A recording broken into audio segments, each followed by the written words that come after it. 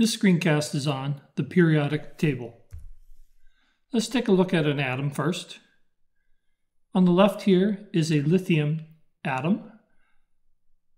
In the center are protons and neutrons, and around the outside are electrons.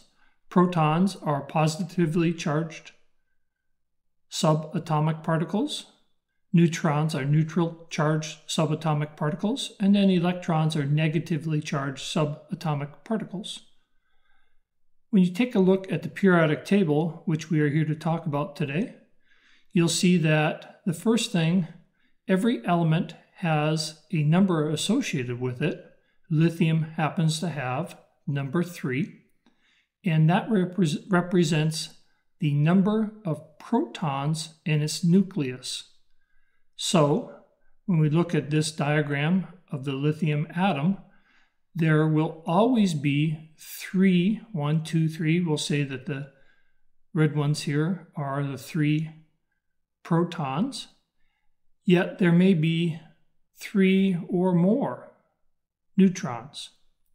And the average number or the average weighted average of the protons and neutrons combined gives us the atomic weight.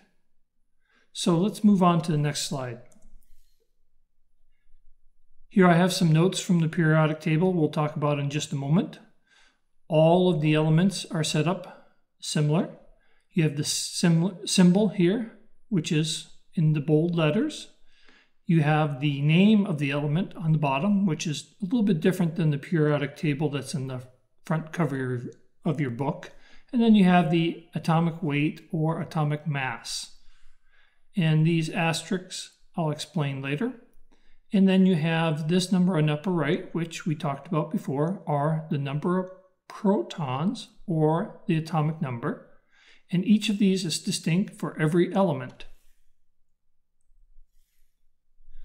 So here's the periodic table of elements, a nice color table, and we'll explain how we arrive at all of this information. First, we'll break the table down into black and white, and you'll note that the elements are numbered from 1 to 118. That means each one of these elements, again, has a distinct number of protons, and that's what defines it as an element. On the left here are periods 1, 2, 3, 4, 5, 6, 7. A period is a row. So period 1 is row 1, period 5 is row 5. And we'll explain the significance of periods as we move along. On the top here we have groups Note that there's the 1A symbol, 2A, then it goes to 3A all the way to 8A, and there's a number next to it because there's a couple different ways of defining groups. In this class, we'll be using the 1 and 2A's all the way through 8A, and then 3B, I mean, sorry, 1B all the way through 8B. Let's move to the next slide. Now I've inserted the actual element symbol and name. And last, I've inserted the atomic weight of each element. Now let's talk about how the elements are grouped. It can be a little bit confusing to see how they're grouped, but once you understand, you should just be able to use the periodic table of elements for a reference versus trying to memorize everything.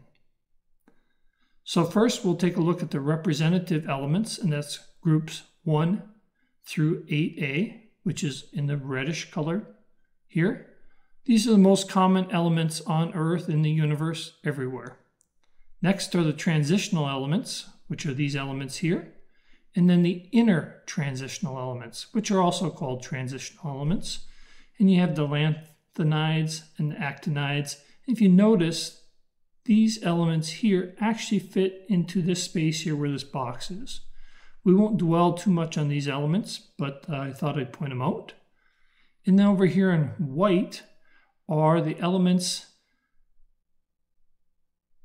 that the names and some of the properties of these elements are still under review, and that's what this note here says.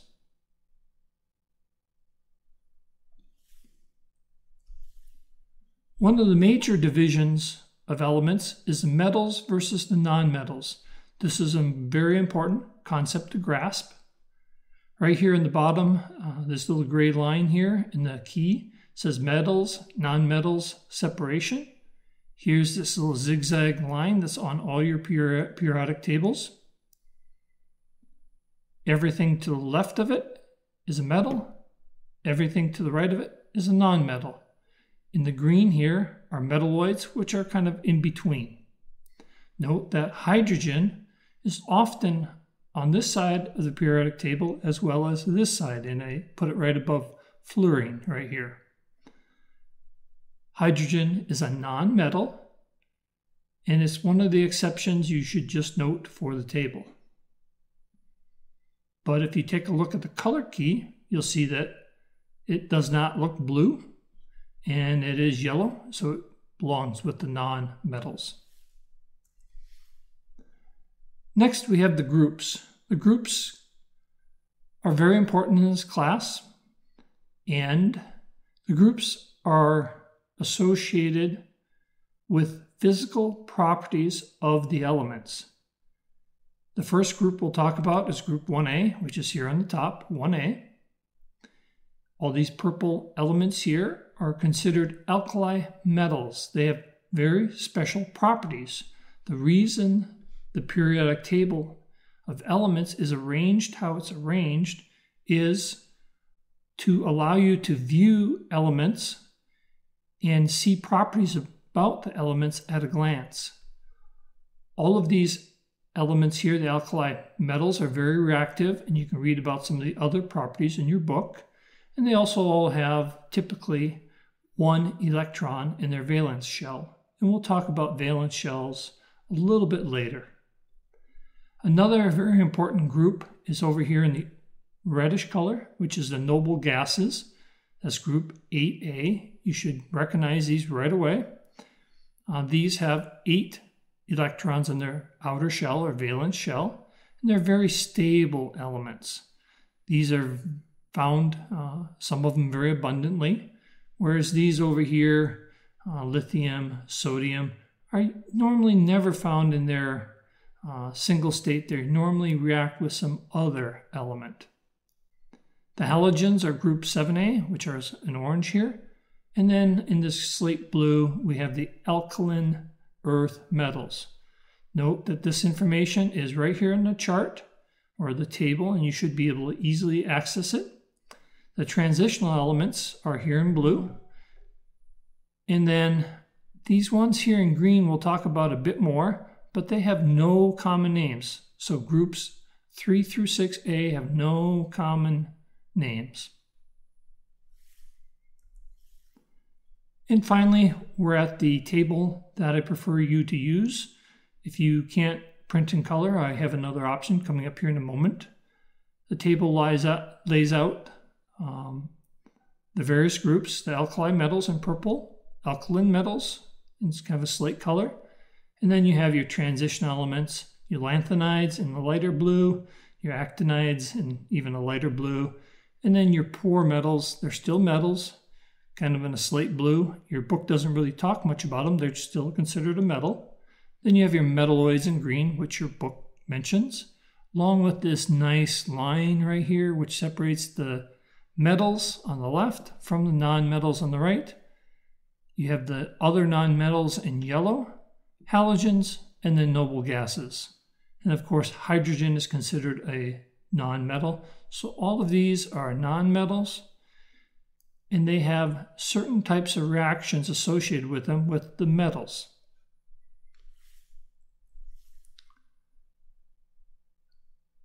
For this element hydrogen, there's a little asterisk here the new way to consider uh, the atomic weight is, is actually a range that's been adopted. And this is this range, that's all that means. It's nothing you have to know, but it's based on the weighted average of all the elements found. In some areas of the country, hydrogen has different has a different atomic weight than other areas, and it ranges from this value to this value.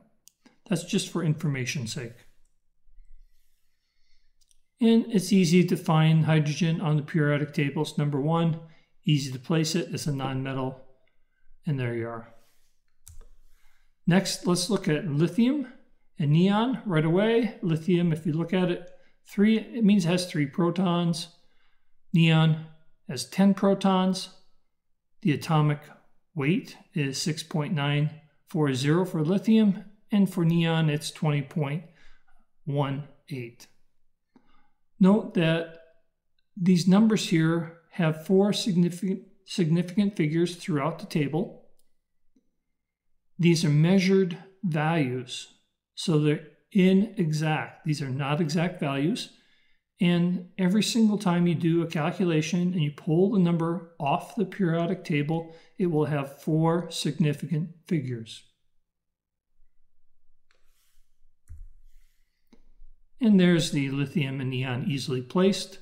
Uh, if you look at lithium, you count one, two, three, it's the third element, and you count all the way up to 10, and you arrive at neon, which is the 10th element, 10 protons. And here's some other examples. Uh, even without any information here, you can easily locate where copper is. It's element number 29. Where chlorine is, it's number 17. You go 10 here, plus another 7 across, and similar for copper. And then lithium, potassium, and sodium are all alkali metals. And because they're all grouped together vertically in a group, they have similar properties.